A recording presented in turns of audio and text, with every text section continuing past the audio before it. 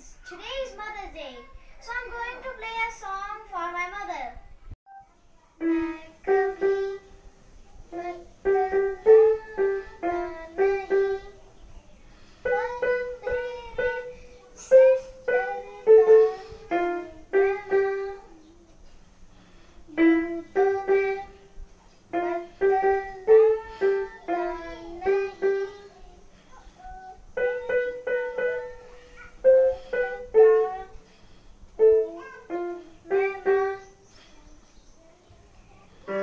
माँ